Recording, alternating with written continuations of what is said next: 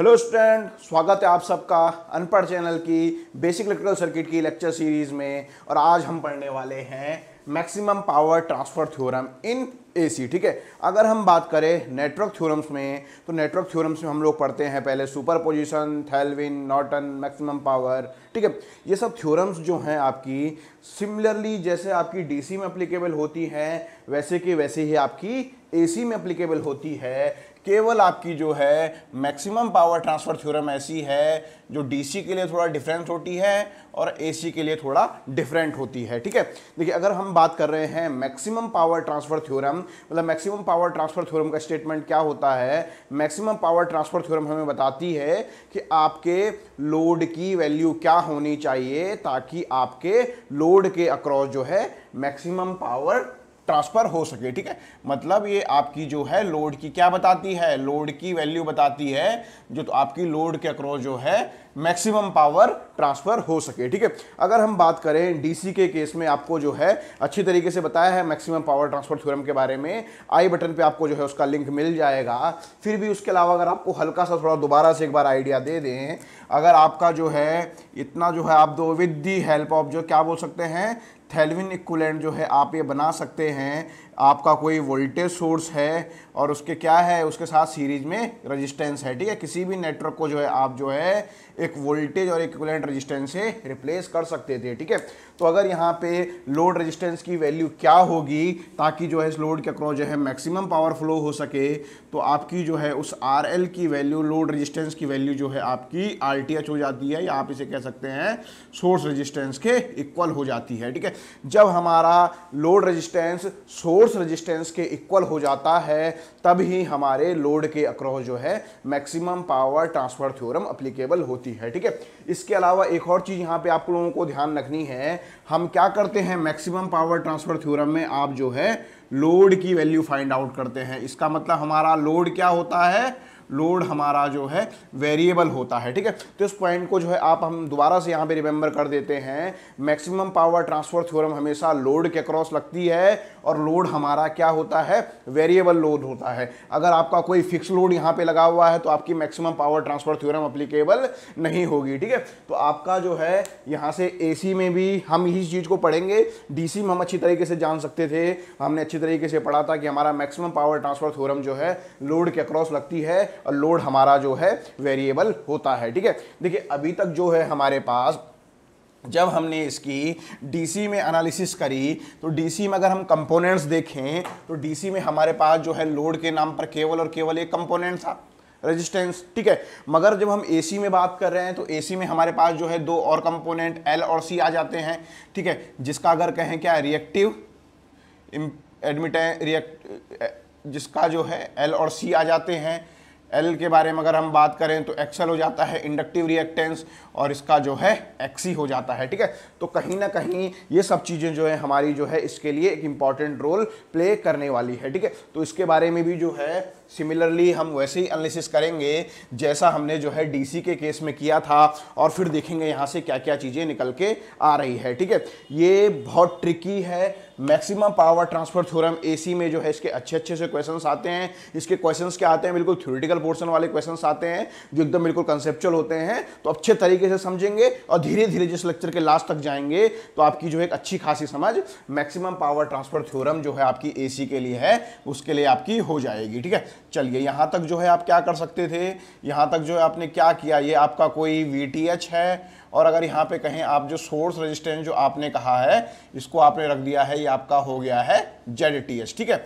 चलिए, आपको क्या करना है? आपको जो है लोड रेजिस्टेंस की लोड रेजिस्टेंस कहेंगे यहाँ पे? यहाँ पे चूँकि अब मैं बात कर रहा हूँ एसी में तो लोड इंपिडेंस यहाँ पे टर्म्स आ जाएगी, ठीक है? चलिए, ये कुछ इस तरीके से जो है फिगर यहाँ पे इसका कुछ हो गया है और ये आपका जो है जेड एल है, ठीक है? आपको क्या करना है, इस जेड एल की वैल्यू फाइंड आउट करनी है ताकि जो है इस जेड जेड एल के अक्रॉस जो है आपकी मैक्सिमम पावर फ्लो हो सके, ठीक है? चलिए, अगर हम बात करें जेड एल के बारे में तो जेड एल जो आपका क्या होगा? आपका जो है R L plus J X होगा। Resistance part plus reactance part ठीक है? अब जो है यहाँ पे, अभी आपको क्या कहा था? आपकी मैक्सिमम पावर ट्रांसफ़र थ्योरम जो है, कब अप्लीकेबल होती है? जब आपका लोड वेरिएबल होता है। मतलब इस सर्किट में आपको देखना है, ये सर्किट जो है हमारा लोड के अक्रॉस जो है मैक्सिमम पावर कब वेरी करेगा, ठीक है? अब देखिए, यहाँ पे आपके क्या क्या केस हो सकते हैं। यहाँ पे जो है आपका सबसे पहला केस बनता है, केस फ़र्स्ट जिसे मैं कहूँगा, जहाँ पे जो है आपका आर एल क्या हो? आर एल आपका जो है वेरिएबल हो एंड आपका एक्स क्या हो? फिक्स्ड हो। मतलब आपको जो है उसने लोड कुछ दिया, उसका रजिस्टेंस वेरिएबल कह दिया और उसने कहा है आपका एक्स फिक्स्ड है, ठीक है? चलिए, दूसरा केस ये हो सकता है कि आपका जो है आर एल को क्या कर दे? फिक्स कर दे। लोड रेजिस्टेंस फिक्स हो जाए और जो है लोड रिएक्सटेंस आपका वेरिएबल हो जाए, ठीक है? ये दो केस हो सकते हैं। तीसरा क्या हो सकता है? तीसरा आपका ये भी हो सकता है कि आपके आर एल और एक्स क्या हों? दोनों के दोनों जो है आपके वेरिएबल हों, ठीक है? अब फोर्थ और बहुत इंपॉर्टेंट केस है। बहुत जगह डायरेक्ट क्वेश्चन आता है कि आपका केवल और केवल आर एल सर्किट में हो, ठीक है? ओनली आर एल हो, ठीक है? आपका क्या हो जाए उस केस में? एंड एक्स की वैल्यू ज़ीरो हो जाए, क्योंकि लोड की बात है, ठीक है? चलिए, आपको लग रहा होगा कि क्या सर ऐसा केस भी हो सकता है, क्या एक्स एल ओनली हो जाए और आपका जो है आर एल क्या हो जाए? आपका आर एल ज़ीरो हो जाए, ठीक है? चलो, थोड़ा सा यहाँ पे देखते हैं। एक्चुअली में हमारा मोटिव क्या है? हमारा मोटिव है लोड के अक्रॉस जो है मैक्सिमम पावर निकालना, ठीक है? चलो, थोड़ा सा इसको थोड़ा सा जो है अभी पहले करंट की डायरेक्शन दे देते हैं। इस फाइव पॉइंट के बारे में हम थोड़ा तब बात करेंगे, ठीक है? चलिए, आपने जो है इस सर्किट में जो है आपने कहा, आपका जो है इस सर्किट में आई करंट फ्लो हो रही है, ठीक है? चलिए, यहाँ पे जो है आई करंट फ्लो हो रही है तो क्या कर सकते हैं आप इस सर्किट में इस आई की वैल्यू निकाल सकते हैं, ठीक है? चलिए, आपका जो है जेड को भी थोड़ा सा अच्छे से अंडा तोड़ देते हैं। इसको मैंने लिख लिया है R T H plus J X T H ठीक है? चलिए, अब यहाँ से जो है आप, अगर आपको कहा जाए, इस वाले लूप में जो है आप के वी एल लगाएँ तो आपका वी टी एच हो जाएगा आपका आई अंदर जो है आपका R T H plus R L एक साथ आपका आ जाएगा, और plus J X T H plus X L जो है आपका ये हो गया है, ठीक है? चलिए, अब यहाँ से जो है आप क्या कर सकते हैं? आप जो है आई की वैल्यू निकाल सकते हैं। मैं सीधा जो है इसे डायरेक्ट क्या कर रहा हूँ? V upon magnitude of Z की फॉर्म में लिख ले रहा हूँ। जेड क्या हो जाएगा? इसका प्लस जेड एल का सम ठीक है? तो आप यहाँ से जो है डायरेक्ट क्या लिख सकते हैं? आपका जो हो जाएगा, वो हो जाएगा V T H upon Z की वैल्यू क्या हो जाएगी आपकी? आपकी जेड की वैल्यू जो हो जाएगी रियल पार्ट का स्क्वायर प्लस इमेजनरी पार्ट का स्क्वायर। जेड क्या होता है आपका? जेड होता है आपका, मॉड ऑफ़ जेड क्या होता है? Under root R square plus X square. ठीक है? तो यहाँ से आपका हो गया है ये R T H plus R L का square plus X T H plus X L का स्क्वायर ठीक है? चलिए, यहाँ से जो है आपने ये आई की वैल्यू निकाल दी है। अब आपको क्या निकालना है? इस लोड के अक्रॉस जो है आपको मैक्सिमम पावर निकालनी है, ठीक है? तो मैक्सिमम पावर बाद में निकालेंगे पहले। इस लोड के अक्रॉस क्या पावर आएगी? आपको वो निकालनी पड़ेगी, ठीक है? तो आपकी जो मैक्सिमम पावर ट्रांसफ़र थ्योरम जो है, वो आपकी हम निकाल रहे हैं पी एल के बारे में लोड के अक्रॉस पावर में। वो आपकी क्या हो जाएगी? वो हो जाएगी आपकी I square into R L ठीक है? चूँकि हम कौन सी पावर निकाल रहे हैं? हम निकाल रहे हैं आपकी एक्टिव पावर या जिसे कह सकते हैं एवरेज पावर ठीक है? देखिए पावर आपकी तीन होती हैं। एक होती है एस एक होती है पी एक होती है क्यू जिसको एस को क्या बोलते हैं? कोई लोग कॉम्प्लेक्स पावर भी बोलते हैं अप्रेंट पावर भी बोलते हैं। अगर हम इस सर्किट में बात करें तो वो हो जाएगी आपकी आई स्क्वायर जेड एल ठीक है? लोड के अक्रॉस अगर हम एक्टिव पावर की बात करें तो वो हो जाएगी आपकी आई स्क्वायर आर एल और ये हो जाएगी आपकी आई स्क्वायर एक्सएल ठीक है? तो अब देखिए, अगर मैं ये वाला केस लेता कि सर्किट में जो है केवल केवल आपका एक्सएल है आर एल की वैल्यू ज़ीरो है तो आपकी एक्टिव पावर क्या हो जाती? एक्टिव पावर ज़ीरो हो जाती। आपका मैक्सिमम पावर ट्रांसफ़र थ्योरम लगाने का कोई लॉजिक नहीं बनता है, ठीक है? इसलिए जो है ये वाला केस हम लोग कंसिडर नहीं करेंगे। ये चार केसों को कंसिडर करेंगे और यहाँ से आप समझ गए हैं कि ये पावर आप जो है निकाल रहे हैं, ठीक है? चलिए, अब क्या होगा? इसके बारे में जो हम थोड़ा सा एनालिसिस करेंगे, ठीक है? तो यहाँ से अब आप देखिए, आपको क्या करना है? आपको मैक्सिमम पावर ट्रांसफ़र थ्योरम आपको क्या कहती है? आपको बताना है कि लोड की वैल्यू क्या होगी ताकि आपके लोड के अक्रॉस जो है मैक्सिमम पावर फ्लो हो, ठीक है? तो आप क्या करेंगे यहाँ से? आप चाहेंगे आपका मोटिव होगा, आप जो है पी मैक्स निकालेंगे। पी मैक्स निकालने के लिए क्या करना पड़ेगा? आपको पी मैक्स निकालने के लिए आपको जो है इसको डिफ्रेंशिएशन करना पड़ेगा। किसको? इस पावर को डिफ्रेंशिएट करना पड़ेगा। इसकी मैक्सिमम वैल्यू ऐसी तो निकालते हैं ना। डी क्या करते हैं? D Y upon D X करते हैं, उसको ज़ीरो निकालते हैं, फिर कोई कंडीशन आती है, वही कंडीशन आपकी सर्किट में मैक्सिमम पावर ट्रांसफ़र करवाएगी, ठीक है? चलिए, अब आप यहाँ पे देखिए, इसमें जो है हम सबसे पहला केस कंसिडर करेंगे, जब आपका क्या हो, जब आपका आर एल वेरिएबल हो और एक्स क्या हो, आपका एक्स फिक्स हो, ठीक है? केस फ़र्स्ट जो है हम यहाँ पे कंसिडर करेंगे। सबसे पहला केस जो है एक एक करके जो है, इन केसों को आपको यहाँ पे बताया जाएगा। शुरुआत में कंसेप्ट बिल्डअप कराने के लिए पूरा डिफ्रेंसिएशन करके कराया जाएगा और बाद में जो है, आप जो है डायरेक्ट आपको रिज़ल्ट बता दिया जाएगा कैसे कैसे आता है और फिर आपको ये सब कैलकुलेशन करने की ज़रूरत नहीं है। बट ये बेसिक्स हैं तो ये बताना ज़रूरी है, ठीक है?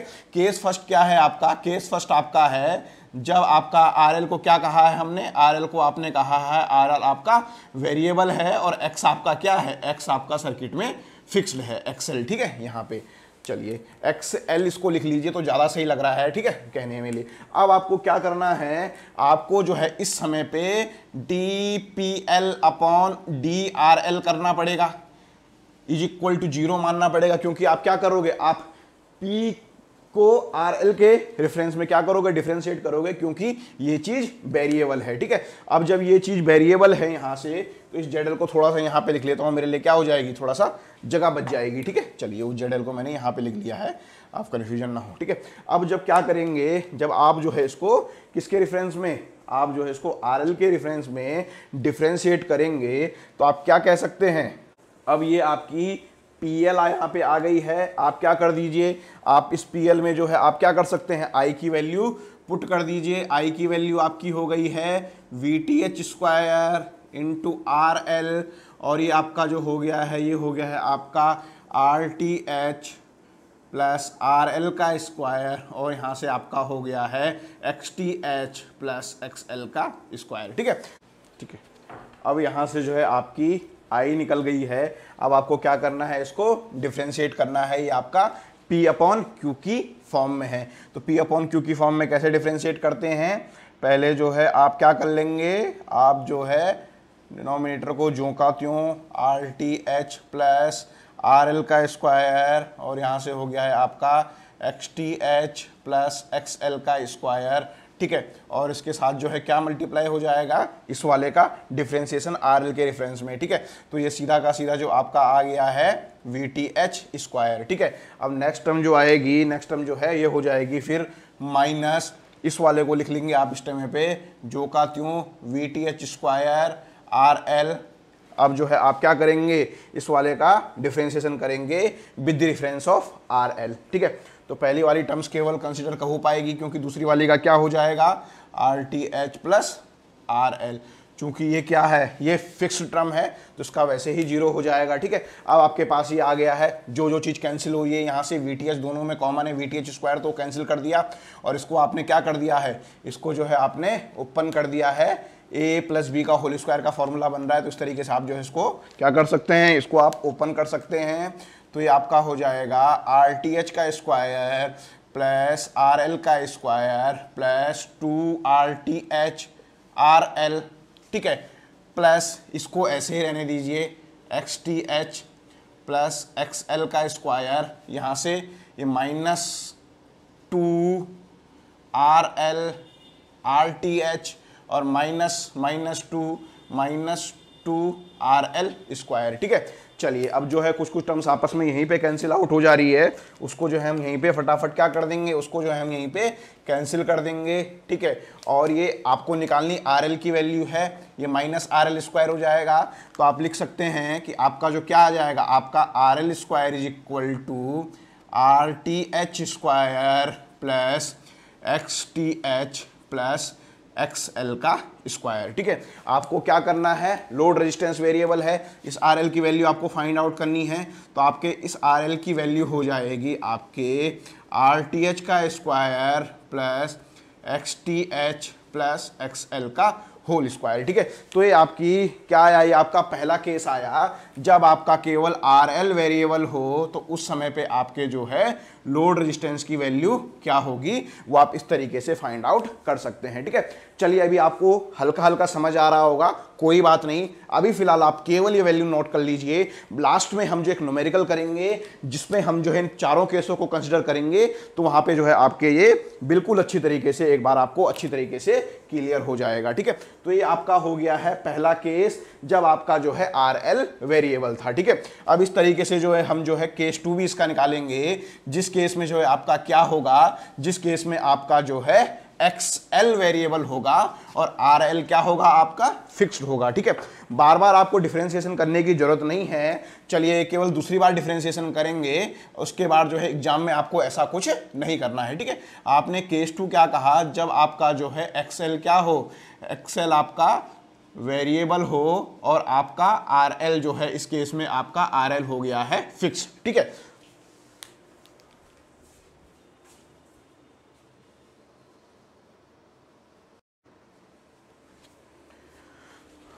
तो अब देखिए, इस समय पे जो मेन इंपॉर्टेंट चीज़ है, वो आपको ध्यान रखनी है। इस समय पे जो है, आपको क्या करना पड़ेगा? आपको जो है D P L upon D XL निकालना पड़ेगा, क्योंकि आपको जो है एक्सएल के रेफरेंस में डिफ्रेंशिएट करना पड़ेगा, क्योंकि जो वेरिएबल चीज़ होती है, उसी के रेफरेंस में क्या किया जाता है? उसी के रेफरेंस में जो आपका डिफ्रेंशिएशन किया जाता है, ठीक है? तो चलिए जब आप इसका डिफ्रेंशिएशन करोगे तो जब पी अपॉन क्यू की टर्म्स में है तो क्यू इंटू इसका डिफ्रेंशिएशन एक्सेल के रेफरेंस में ये क्या है? ये आपका जो है फिक्स्ड है तो ये वाली वैल्यू हो गई है ज़ीरो आपका जो डायरेक्ट आ जाएगा, दूसरी वाली टर्म आ जाएगी सीधा डायरेक्ट माइनस यहाँ पे जो है आपका ये वाली term V T H square into R L ठीक है? और इसका डिफ्रेंसिएशन एक्सेल के रेफरेंस में, ठीक है? तो इस टर्म्स का क्या हो जाएगा? ये वाली है, इस टाइम पे भी इसके लिए फिक्स इसका ज़ीरो तो केवल और केवल आपका हो जाएगा two X T H plus X L ठीक है? तो यहाँ से जो है आप क्या कर लेंगे, यहाँ से जो आप इसकी वैल्यू को ज़ीरो पुट करेंगे तो आपको जो रिलेशन मिल जाएगा, वो रिलेशन मिल जाएगा आपको X T H is equal to minus X L ठीक है? या आप क्या कह सकते हैं, आपको जो है लोड वाला रिएक्टेंस निकालना है तो आप इसे ऐसे लिखेंगे, ये ज़्यादा सही है XL is equal to minus X T H ठीक है? तो आपका जो है एक्सेल की value minus X T H होगी, ठीक है? जब आपका जो है एक्सेल वेरिएबल था और आर एल आपका फिक्स्ड था, ठीक है? चलिए, अब बात करते हैं इसका केस थर्ड की। केस थर्ड जो है आपका केस फ़र्स्ट और केस सेकंड का क्या है? केस फ़र्स्ट और केस सेकंड का कॉम्बिनेशन है। जब आपका आर एल एंड एक्सेल आपके दोनों के दोनों क्या हैं? आर एल एंड एक्सेल आपके दोनों के दोनों वेरिएबल हैं। तो उस समय पे जो है आपका क्या वैल्यू होगी? उस समय पे आपकी जो है सो आपका जो है लोड के लोड इम्पिडेंस जो होगा, वो आपका जो है क्या हो जाएगा? वो आपका सोर्स इंपिडेंस का कॉम्प्लेक्स कंजुगेट होगा, ठीक है?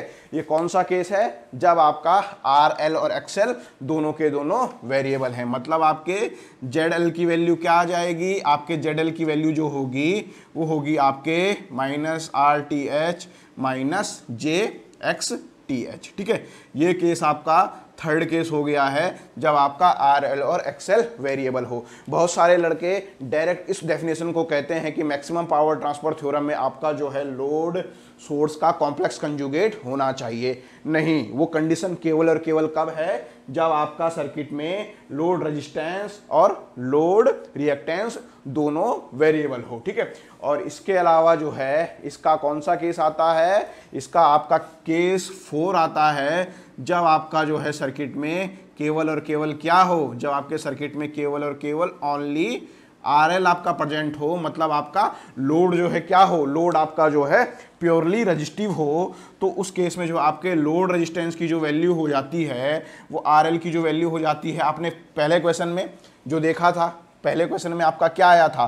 पहले क्वेश्चन में आपने देखा था, आपका जब ओनली आर एल था, जब आपका केवल, जब आपका आर एल था और एक्सएल आपका वेरिएबल था तो उस समय पे जो आपकी वैल्यू आई थी, वो आई थी एक्स टी एच का स्क्वायर और यहाँ पे था X L plus X T H का स्क्वायर ठीक है? इस केस में क्या हो गया है आपका? सर्किट में केवल रजिस्टेंस है एक्सेल वाला कंपोनेंट नहीं है तो इस एक्सेल की वैल्यू रख दी है आपने ज़ीरो तो आप देख सकते हैं आपका जो है, इस केस में आपका लोड रेजिस्टेंस की वैल्यू जो आएगी, वो आ जाएगी आपके आर का स्क्वायर प्लस एक्स का स्क्वायर ठीक है? ये यहाँ से जो है आपका केस फोर हो गया है, ठीक है? तो फटाफट से समराइज कर लेते हैं चीज़ों को। इन सारे के सारे जो है आपके चारों केसों में जो जो जो इम्पिडेंस आपका रहेगा, उसकी वैल्यू को लिख लेते हैं। इसके बाद एक बढ़िया सा नोमेरिकल करते हैं। आपके दिमाग में सारे डाउट आपके क्लियर हो जाएँगे, ठीक है? चलिए। क्योंकि इतना तो अब आप समझ चुके हैं कि आपकी मैक्सिमम पावर ट्रांसफ़र थ्योरम जो है, कब लगती है? लोड के क्रॉस लगती है, हर लोड आपका वेरिएबल होता है, ठीक है? तो सबसे पहला केस क्या था? केस फ़र्स्ट आपने कहा था, जब आपका क्या हो? जब आपका आर एल वेरिएबल हो और आपका एक्स एल फिक्स्ड हो, ठीक है? तो उस केस में जो है आपकी आर एल की जो वैल्यू हो जाएगी मैक्सिमम पावर ट्रांसफ़र होने के लिए, इस लोड के अक्रॉस मैक्सिमम पावर ट्रांसफ़र होगी, उसकी वैल्यू हो जाएगी आर टी एच का square X T H plus X L का स्क्वायर ठीक है? चलिए, ये आपका हो गया है केस फ़र्स्ट केस टू आपका, जब आपका सर्किट में क्या हो, जब आपका जो है एक्स एल वेरिएबल हो और आपका जो है क्या हो आर एल आपका फिक्स्ड हो, ठीक है? तो उस केस में जो है आपकी लोड, देखिए, उस केस में आपका लोड रेजिस्टेंस तो क्या रहेगा? आर एल ही रहेगा। आपका लोड रिएक्टेंस चेंज हो जाएगा एक्सएल एक्सएल की वैल्यू हो जाएगी माइनस एक्स टी एच ठीक है? चलिए, आपका केस थर्ड क्या था? केस थर्ड आपका था जब सर्किट में आपके जो है एक्स एल और आर एल आपके क्या हों? दोनों के दोनों आपके वेरिएबल हों। तो आपका जो है लोड रेजिस्टेंस जो है, आपका सोर्स रेजिस्टेंस का कॉम्प्लेक्स कंजुगेट हो जाता है, ठीक है? और केस फोर सबसे इंपॉर्टेंट केस अगर आपका जो है लोड केवल और केवल प्योरली रजिस्टिव हो ओनली आर आपका लोड पे हो एंड एक्सेल क्या हो जाए? एक्सेल की वैल्यू ज़ीरो हो जाए तो आपकी आर एल की वैल्यू हो जाती है under the root R T H का square plus X T H का स्क्वायर ठीक है? ये चारों केस अब यहाँ पे लिख दिए हैं, ठीक है? तो अब क्या करेंगे? अब एक न्यूमेरिकल करेंगे। न्यूमेरिकल में जो है इन चारों केसों को देखेंगे, फिर आपको जो है अच्छी तरीके से समझ में आएगा, ठीक है? ये आपने नोट कर लिया होगा और आपके अच्छी तरीके से हल्का हल्का फील आपको आने लगा होगा। धीरे धीरे से कोई नहीं न्यूमेरिकल अभी करेंगे तो आपके जो है सारे डाउट एक साथ क्लियर होने वाले हैं, ठीक है? देखिए मैक्सिमम पावर ट्रांसफ़र थ्योरम से न्यूमेरिकल एग्ज़ाम में नहीं आता है, मगर इससे क्या आते हैं? डायरेक्ट जो है, इस तरीके के न्यूमेरिकल्स आते हैं कि आप जो है, आँख बंद करके भी न्यूमेरिकल्स को कर सकते हैं, ठीक है?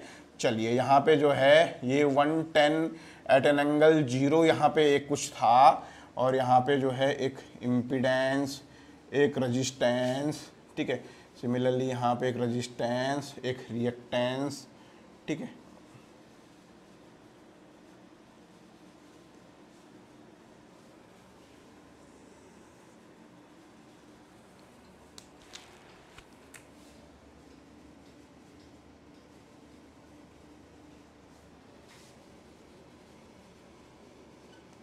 ठीक है अब यहाँ पे जो क्वेश्चन क्या है, इस क्वेश्चन में आपको सारे डाउट्स आपके क्लियर हो जाएँगे, ठीक है?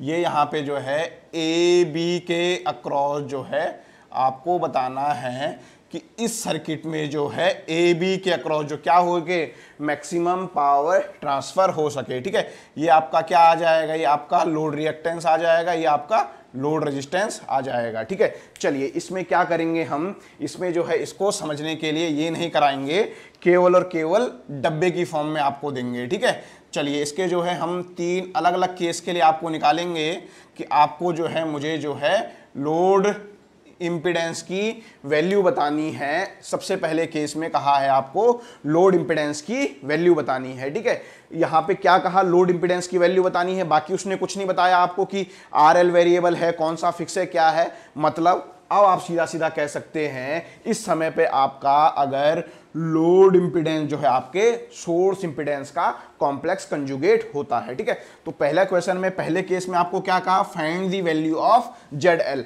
load impedance की वैल्यू फाइंड आउट कीजिए। तो क्या करेंगे सबसे पहले आप जो है इस सर्किट का थेलविन इक्वलेंट बनाएँगे, ठीक है? थेलविन इक्वलेंट बना के आपको क्या मिल जाएगा? थेलविन इक्विलेंट बनाने के लिए आपको वीटीएच और क्या चाहिए? जेड चाहिए, ठीक है? तो वी फ़िलहाल आपको इंटरेस्टेड नहीं हो क्योंकि आपको जेड की वैल्यू निकालनी है, ठीक है? और जेड जो है आपके, इस केस में क्या होने वाली है? इस केस में आपको जेड जो है आपकी जेड की कॉम्प्लेक्स कंजुगेट होने वाली है, ठीक है? तो ए बी को क्या करेंगे? आप उसको सर्किट से हटा देंगे और सर्किट में जो भी वोल्टेज सोर्स हैं, उसको उसके इंटरनल रेजिस्टेंस से रिप्लेस कर देंगे। करंट सोर्स को भी उसके इंटरनल रेजिस्टेंस से रिप्लेस कर देंगे। मतलब वोल्टेज सोर्स आपके हो जाते हैं शॉर्ट सर्किट करंट सोर्स हो जाते हैं आपके ओपन सर्किट ठीक है? तो जब आप इसको ए बी से देखोगे तो आपको जो है ये इस तरीके से दिखाई देगा। इसका जो है लोड इम्पिडेंस से जो है आप इस एंड से आप देखोगे लोड इम्पिडेंस एंड से आप देखोगे तो आपको जो है ये कुछ इस तरीके का दिखाई देगा। ठीक है, ये आपका ए हो जाएगा और ये आपका हो जाएगा बी ये है आपका eight J six eight J six ठीक है तो आपका जो है इस सर्किट का क्या कह सकते हैं? जो जेल टी जो आएगा, वो क्या आ जाएगा? दोनों आपस में पैरेलल में कनेक्टेड है, पैरेलल में वैल्यू हाफ़ हो जाती है थ्री फोर जे ठीक है? ये आपका जो है ए भी आ गया है। मतलब इस सर्किट में जो आपका जो जेड टी एच आया है जेड टी एच की वैल्यू आई है आपकी थ्री प्लस फोर जे ठीक है? आपको लोड रेजिस्टेंस की वैल्यू बतानी है सॉरी आपको लोड इंपिडेंस की वैल्यू बतानी है मैक्सिमम पावर ट्रांसफ़र के लिए। तो जेड आपका क्या हो जाएगा? जेड टी एच का कॉम्प्लेक्स कंजुगेट हो जाएगा। कॉम्प्लेक्स कंजुगेट का मतलब होता है कि जेड टी एच में जहाँ जहाँ पे भी जे है, वहाँ पे आपको जे को माइनस जे से रिप्लेस कर देना है, ठीक है? कंजुगेट का मतलब समझ में आया? ठीक है तो यहाँ से जो है इसका थ्री माइनस फोर जे ठीक है? तो अगर आपका load impedance three minus four J होगा, तब आपकी जो है इस सर्किट के अक्रॉस जो है मैक्सिमम पावर फ्लो होगी, ठीक है? चलिए, ये हो गया आपका पहला क्वेश्चन ठीक है? अब क्या करा मैंने? मैंने कहा, जो आपका जो है यहाँ पे, जो लोड क्या है? जो आपका लोड इम्पिडेंस है, उसकी वैल्यू जो है आपको R L plus three J दी हुई है। मतलब आपका लोड इम्पिडेंस के केस में आपका जो है, इसकी वैल्यू क्या हो गई है? इसकी वैल्यू मैंने पहले से ही फिक्स कर दी है केवल और केवल क्या कहा है मैंने, आपका जो है आर एल वेरिएबल है, ठीक है? तो इस केस में आपको क्या करना है? आपको लोड इंपिडेंस की वैल्यू निकालनी है। लोड इंपिडेंस क्या होगा? लोड इंपिडेंस आपका आर एल और एक्सएल का सम होगा। एक्सएल आपको पहले से फिक्स दिया हुआ है उसने। तो आप क्या करोगे? केवल और केवल इस केस में आप आर एल की वैल्यू निकाल लोगे और आपके जो है क्या हो जाएगी? उस आर एल की वैल्यू उस आर एल की वैल्यू हो जाएगी under the root of R T H square X T H plus X L का स्क्वायर ठीक है? चलिए अब यहाँ पे देखिए। ये आपका क्या आया था? ये आपका जेड टी एच आया था। आप इस जेड टी एच को ब्रेक कर सकते हो आर टी एच और एक्स टी एच के फॉर्म में। तो ये हो गया आपका थ्री प्लस जे फोर बोले तो ये चीज़ है आपकी एच और ये चीज़ है आपकी एच, ठीक है? तो यहाँ से आपका जो है आर एल की वैल्यू क्या हो जाएगी? आपके आर एल की वैल्यू हो जाएगी अंडर द रूट थ्री का स्क्वायर बोले तो नाइन एक्सएल की वैल्यू है आपकी कितनी? एक्सएल की वैल्यू है थ्री, एक्स टी एच की वैल्यू है फोर फोर का स्क्वायर, ठीक है? तो ये कितना हो गया है? सेवन का स्क्वायर। तो आर एल की वैल्यू जो हो जाएगी आपकी नाइन प्लस फोर्टी नाइन बोले तो आप कितना हो गया है? फिफ्टी एट ठीक है? तो अंडर रूट फिफ्टी एट आपकी आर एल की वैल्यू हो जाएगी। मतलब इस केस में जो है आपका लोड इम्पिडेंस की वैल्यू हो जाएगी under root fifty eight plus J three ठीक है? तो अगर आपकी लोड इंपिडेंस की वैल्यू ये होगी, तब आपके जो है इस सर्किट में लोड के अक्रॉस जो है मैक्सिमम पावर फ्लो होगी, ठीक है? ये आपने कब लिखा? जब आपका जो है लोड इंपिडेंस में आपका जो है एक्सेल फिक्स्ड रहा, ठीक है? चलिए, दो क्वेश्चन हमने यहाँ पे कर दिए हैं। अब तीसरा और सबसे अच्छा क्वेश्चन इसका ये है कि यहाँ पे जो है मैंने कहा, आपका जो है जेड एल जो अब इस केस में है, वो जेड एल जो है आपका, इस समय पे मैंने कहा, आपको बतानी है इसकी वैल्यू। ये है आपका nine plus J X L ठीक है, लोड, यहाँ पे एक्सेल से आप इसको जो है इंडक्टिव रिएक्टेंस वाला मत समझना, ठीक है? एक्सेल का मतलब है यहाँ पे लोड से, ठीक है? अब आप देखिए, इस केस में क्या हो गया है आपका, इस केस में आपका क्या है? इस केस में आपका आर एल फिक्सड हो गया है और साथ में क्या है आपका एक्सेल क्या है? एक्सेल आपका वेरिएबल है, ठीक है? तो कौन सा हो जाएगा ये? आपका केस टू हो जाएगा। केस टू के केस में क्या होता है आपका, आपके एक्सेल की जो वैल्यू होती है, वो minus of X T H होती है, बोले complex conjugate of X T H होती है, ठीक है? तो आपका एक्स टी एच है जे फोर तो आपका एक्सेल हो गया है यहाँ से माइनस फोर जे ठीक है? तो अगर आपको कहें, इस केस में आपके जो है लोड इम्पिडेंस की वैल्यू कितनी हो जाएगी तो वो हो जाएगी आपकी नाइन माइनस फोर जे ठीक है? ये आपका हो गया है केस टू वाला क्वेश्चन था और यहाँ पे हमने थर्ड क्वेश्चन इसका किया है, ठीक है? चलिए, इसके अलावा जो है, सबसे इंपॉर्टेंट केस और सबसे लास्ट केस इसका बनता है कि आपका जो ये लोड है, ये लोड जो है आपका पूरा का पूरा जो है प्योरली रजिस्टिव है, ठीक है? और आपको इस लोड रजिस्टेंस की वैल्यू बतानी है ताकि जो है आपके इस लोड के अक्रॉस जो है मैक्सिमम पावर फ्लो हो सके, ठीक है? देखिए, मैंने यहाँ पे एक ही क्वेश्चन में इतने सारे क्वेश्चन कराए हैं। आप ऐसा ना करना कहीं कि एक ही फिगर में आप भी सारे क्वेश्चन करने लगे। आप जो है अलग अलग फिगर बनाओगे और अलग अलग क्वेश्चंस को अटैम्प्ट करोगे, ठीक है? चलिए, यहाँ से जो है लास्ट केस क्या था? लास्ट केस था कि आपका जो है सर्किट में आर प्योरली रजिस्टिव है लोड के अक्रॉस ठीक है? तो ये क्या हो जाएगा? जब आपका प्योरली रजिस्टिव होता है तो आपके लोड रेजिस्टेंस की वैल्यू क्या हो जाती है? लोड रेजिस्टेंस की वैल्यू आपकी हो जाती है आर टी एच का square plus X T H का स्क्वायर, ठीक है? तो यहाँ से आपका जो है लोड रेजिस्टेंस हो गया है आर टी एच की वैल्यू है थ्री तो ये हो गया है नाइन एक्स टी एच की वैल्यू है फोर तो ये हो गया है सिक्सटीन तो आपका आर एल हो गया है अंडर रूट ट्वेंटी फाइव, या बोले तो फाइव ओम, ठीक है? तो उस समय पे आपकी आर एल की वैल्यू फाइव ओम रहेगी और आपके जो है इस लोड के अक्रॉस जो है आपकी मैक्सिमम पावर फ्लो होगी, ठीक है? तो यहाँ पे जो है हमने क्या कर लिए हैं? अपने चारों के चारों एग्जाम्पल्स हमने यहाँ पे देख लिए हैं। और अब आपको जो है हल्की सी अंडरस्टैंडिंग आई होगी कि अगर आपका लोड में केवल और केवल रेजिस्टेंस हो तो मैक्सिमम पावर ट्रांसफ़र होने के लिए लोड रेजिस्टेंस की वैल्यू क्या होती है? केस फ़र्स्ट आपका था, जब आपका लोड में क्या हो, केवल और केवल आपका आरएल वेरिएबल हो एक्सेल फिक्स्ड हो, उस समय पे वैल्यू क्या होती है? केस टू पे आपका क्या था? एक्सेल वेरिएबल था आरएल की वैल्यू फिक्स थी वैल्यू क्या होती है? थर्ड केस में आपके एक्सेल आर एल दोनों वेरिएबल थे और फोर्थ केस में आपका लोड में केवल और केवल प्योरली रेजिस्टेंस था, ठीक है? तो इस तरीके से आपकी जो है मैक्सिमम पावर ट्रांसफ़र थ्योरम आपकी एसी में लोड रेजिस्टेंस की वैल्यू आप इस तरीके से फाइंड आउट कर सकते हैं, ठीक है? चाहे आप उसे लोड रेजिस्टेंस कह दीजिए या लोड इंपिडेंस कह दीजिए, ठीक है? यहाँ से डायरेक्ट क्वेश्चन बनते हैं और जो है एग्ज़ाम पॉइंट ऑफ़ व्यू से जो है ये बहुत बहुत इंपॉर्टेंट है और यहाँ पे जो है आपको मतलब बार बार वो कहा जाता है कि आपको वैल्यूज़ बतानी है, ठीक है? चलिए, आपको प्रैक्टिस इतनी हो गई है तो आपको जो है एक क्वेश्चन और करवा देते हैं। उस क्वेश्चन में जो है आपको अब बिल्कुल भी डाउट नहीं होना चाहिए, ठीक है? चलिए, यहाँ पे जो है आपको कहा है कि ये आपका जो है कोई क्या है? ये आपका जो है कोई सो वोल्टेज दिया हुआ है और इसके अक्रॉस जो लोड है, वो लोड जो है आपका थ्री प्लस फोर जे है। और आपको कहा है, आपको जो है क्या करना है? आपको जो है इस आर एल की वैल्यू बतानी है ताकि इस आर एल के अक्रॉस जो है आपकी मैक्सिमम पावर फ्लो हो सके, ठीक है? चलिए, यहाँ पे क्या केस हो रहा है? आपका आर एल वेरिएबल है। मतलब लोड के अक्रॉस केवल और केवल आपका रेजिस्टेंस है। होना क्या चाहिए था? एसी सर्किट है तो आप कहोगे शायद इंपिडेंस होना चाहिए था। आपका R L plus J XL type का होना चाहिए था, मगर क्या हो गया है? इसकी वैल्यू हो गई है ज़ीरो या आप कह सकते हैं आपका लोड जो है प्योरली रजिस्टिव है। तो इस सर्किट के अक्रॉस मैक्सिमम पावर कब ट्रांसफ़र होगी? जब आपके आरएल की वैल्यू जो है नाइन इसका स्क्वायर प्लस एक्स का स्क्वायर तो ये हो गया आपका 16 तो ये हो गया आपका अंडर रूट ट्वेंटी फाइव, या बोल दीजिए आरएल की वैल्यू हो गई आपकी 5 ओम।